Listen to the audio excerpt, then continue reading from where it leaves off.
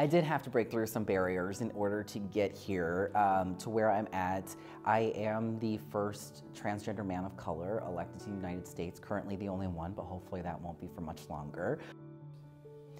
Someone should support Claremont Lincoln University because of the fact that it is doing work that is not replicated anywhere else, I feel. Um, from what I've seen, this university is setting a standard, setting a model for what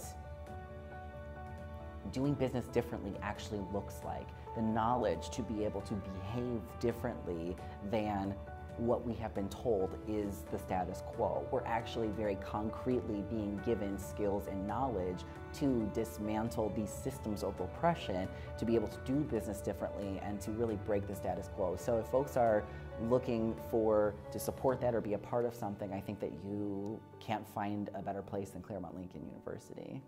My name is Phillipe and I am forever changed.